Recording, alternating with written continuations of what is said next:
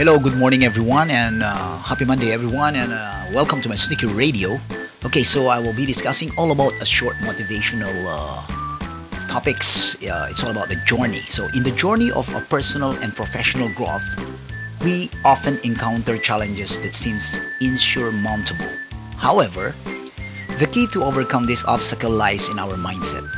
By shifting our perspective from impossible to I am possible we unlock a world of potentials and opportunity.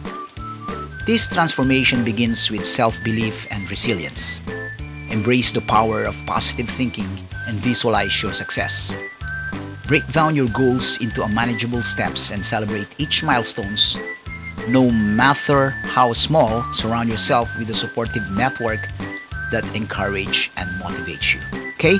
Remember, every great achievement started as an idea that someone believes in by turning impossible into I am possible.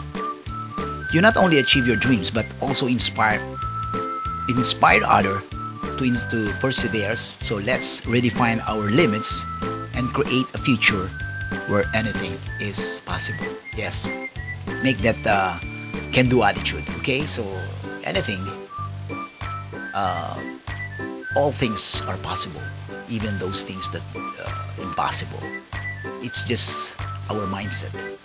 The rewiring of our perceptions or rewiring our brains and all those things okay? So i'll, I'll keep on uh, please uh, stay tuned and uh, this is sneeky radio and this is sneaky punk and i'll be catching you again.